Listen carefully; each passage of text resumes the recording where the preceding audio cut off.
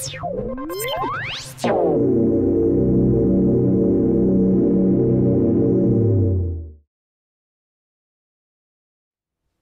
you go to start menu then go to computer right click on it and select manage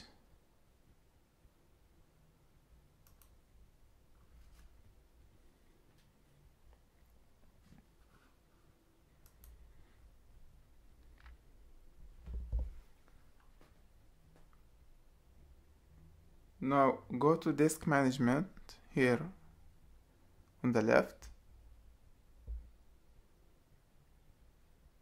And you're gonna have this uh, page here. Here you can see all of your disks and uh, their capacities. Just to the right side as you can see here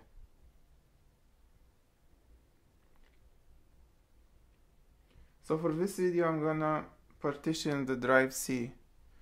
So go to the middle of this page, select the drive C, then right click on it,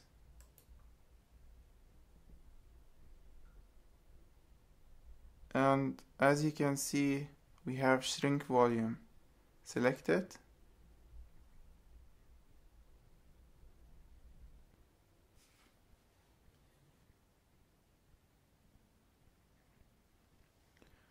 so as you can see here shrink C this is what I want.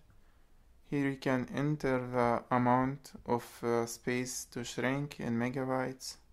Here I have about 97 gig gigabytes and this is what I want. Then click shrink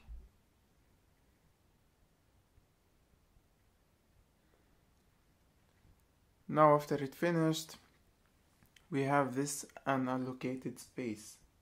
So you have to go and to right click on it, then new simple volume, then this volume wizard, you have to click next, then next, then you have to assign the letter that you want for the drive. I'm gonna leave it as it is. So click next. Then format this volume with the following settings NTFS allocation unit size default and volume label here you can put the name that you want.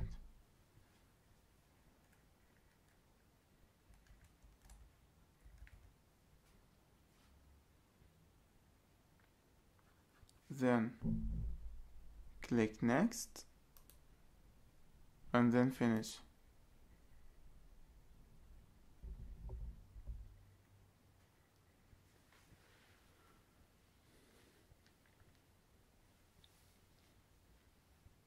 as you can see now it's formatting.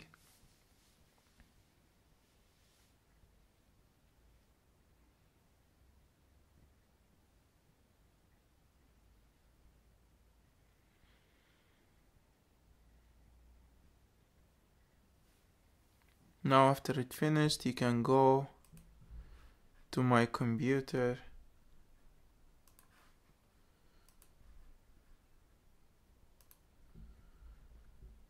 and you can find that there is a new disk and this is what we created.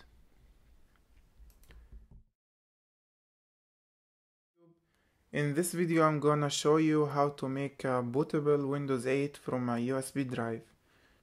Using a software called WinToFlash that was starting up at the beginning of this video.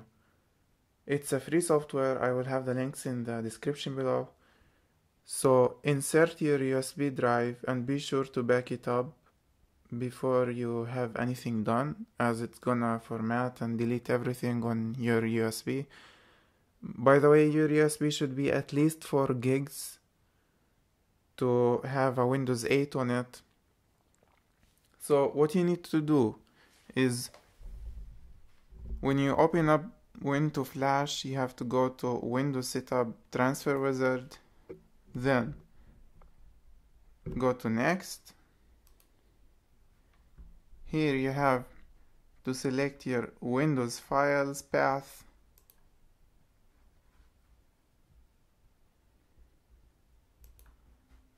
It should be or you, on your CD-ROM click OK then select your USB drive.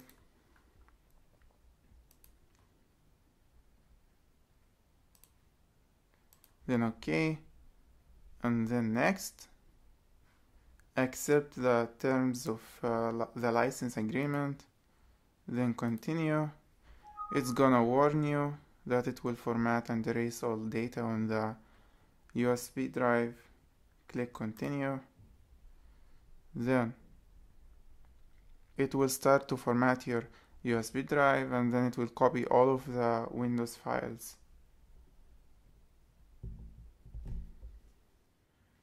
So as you can see guys now it's done. Click next.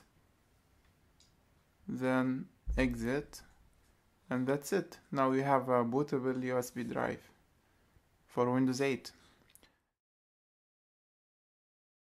In this video I'm gonna install a Windows 8 from a bootable USB drive alongside the Windows 7 so it's gonna be a dual boot Windows 7 and Windows 8 so put your uh, USB drive into your uh, laptop and start your laptop. I'm gonna go to setup to choose from where to boot. I'm gonna zoom in so this is the booting options here.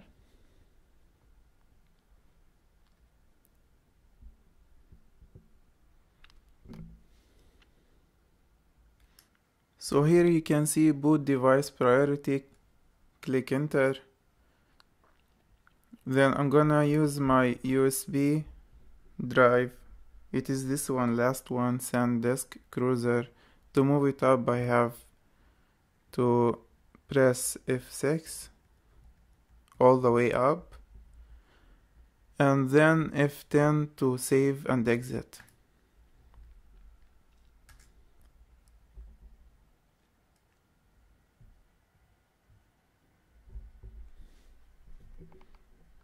As you can see now it's reading from the USB flash drive it is still loading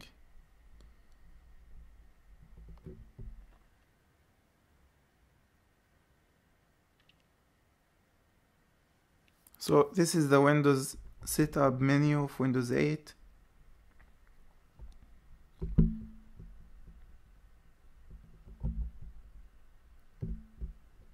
choose the language that you wish to install English United States time and currency format, English United States, and keyword or input method, the US, then next.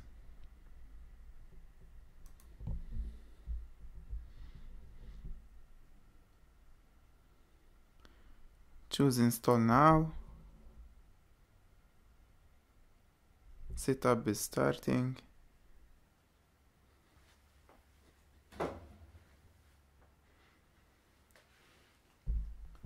Now I'm gonna select the operating system that I want to install. This laptop that I'm using now supports only 32-bit. So this is what I'm gonna use, Windows 8 32-bit. You can choose the N 32-bit, Pro, Enterprise. Then click Next.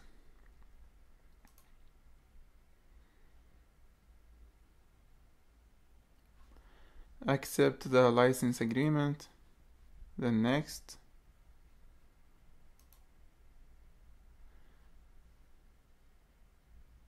you have two options to upgrade install windows and key files or custom installs windows only. So I'm gonna use custom install.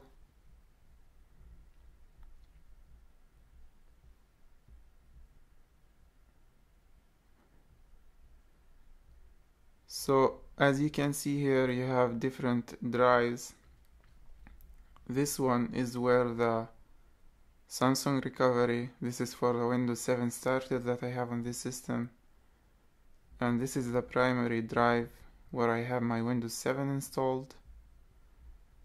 I'm gonna choose this one that I created earlier in this video. Click next. This way you're not gonna install over Windows 7 now it's copying files and then it will start installing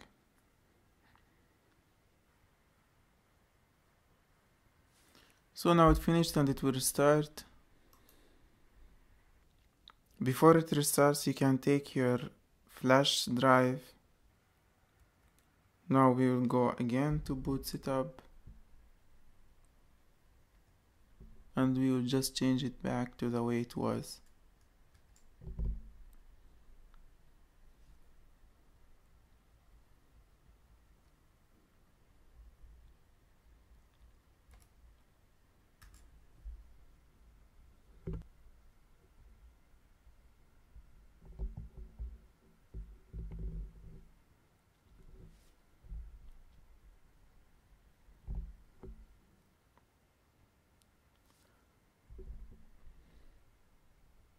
as you could see in the screen before you could choose an operating system so it uh, actually I didn't because it went directly to Windows 8 because it, it gave me some time to choose and I didn't. Anyway this is what I wanted to go to Windows 8 to continue the setup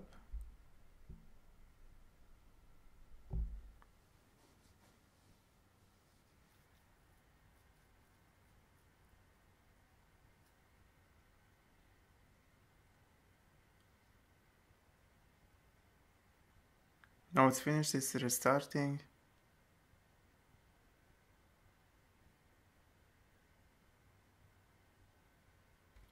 I was talking about here that you could select which Windows you want to boot. So I'm gonna boot again into Windows 8. Here you're gonna enter your product key. So let's go ahead and enter it click next.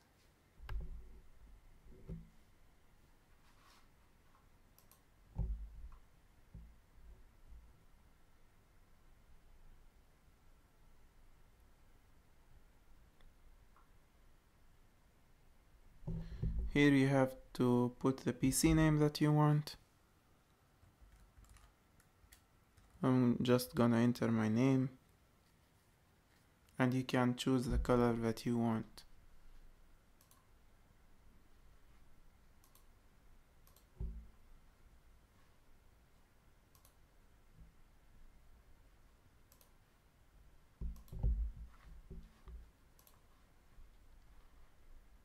And the next.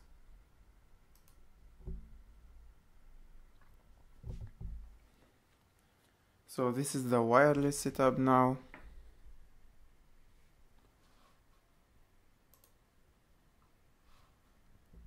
and connect then enter a password here.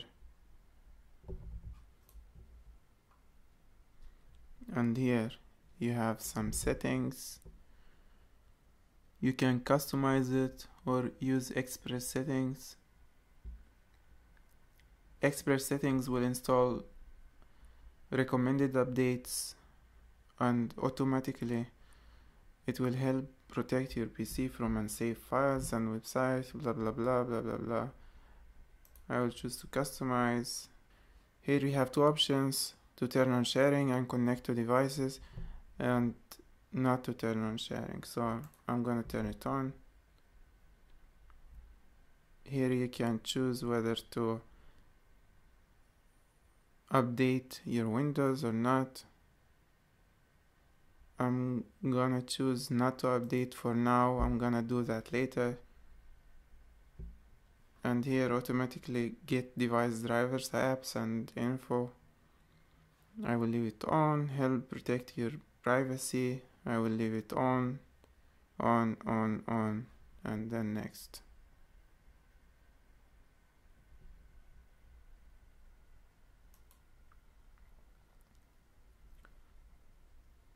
Here we have again some settings, send Microsoft info to help make Windows and apps better. I will leave everything off. And here you can use to check online for solutions to some problems that you might have. I will leave it to on.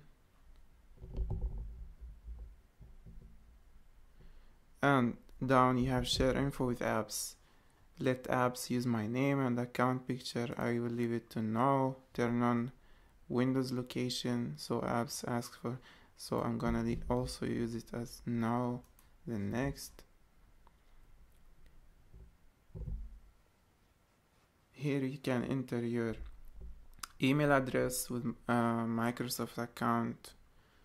So they could send you maybe about some apps from the Windows Store and something like that so I'm gonna enter my email.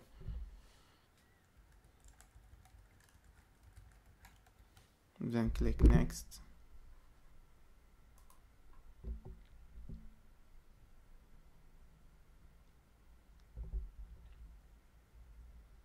It's checking for a Microsoft account as you can see.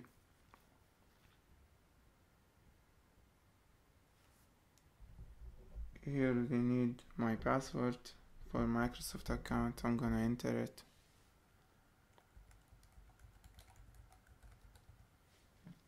Then next.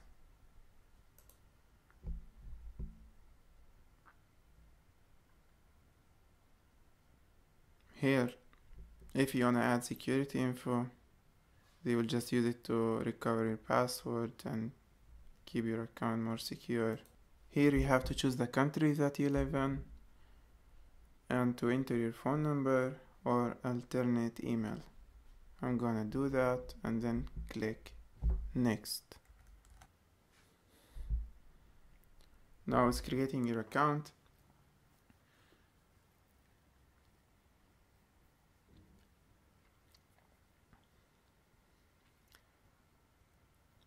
Back there you can choose not to add your phone number if you don't want to, but you have to put an alternate email just in case.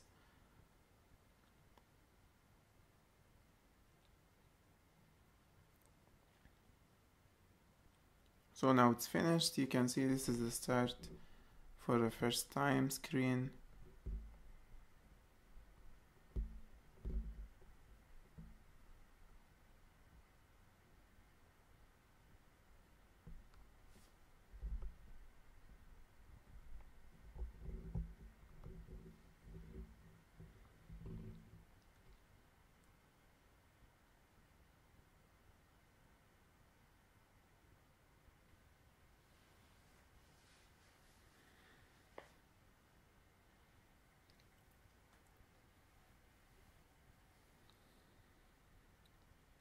So now starting for the first time.